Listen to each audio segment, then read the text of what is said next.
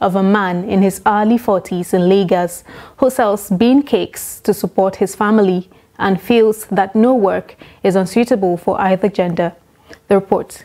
People in Lagos State engage in a wide variety of enterprises based on their interests. However, a common misconception is that certain occupations are exclusive to a certain gender. Mr. Chibueze Damian, popularly known as Baba Akara in the Mushin area of Lagos State, is a bean cake seller, otherwise called Akara, who has decided amidst many discouraging words and challenges to thrive in his business to make ends meet.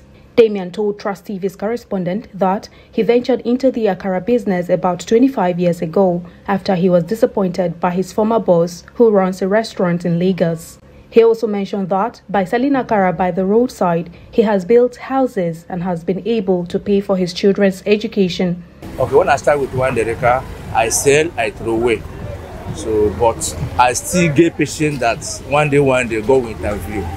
So, but now I thank God that I'm doing it. The business has strongly grown over the years as Baba Akara witnessed an increase in the number of his clientele. Meanwhile, Jeremiah Chibueze, Baba Akara's son, recounted how he was bullied by fellow students while he was growing up because of his father's choice of business but is grateful now for how far the business has grown. Yeah, like very every time, like like not now, but when I was in when I was in secondary school, primary school, my friends usually call me Akara boy. I, I was being bullied every time for my dad selling Akara, bullied every time.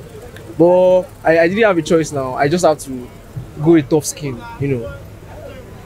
Till now, now I'm even proud of my dad is saying Akara. I just thank God I didn't like like face under that, that bullying face. He advised Nigerians, particularly the youth, not to be discouraged by anything, but to be determined to do what they set to do.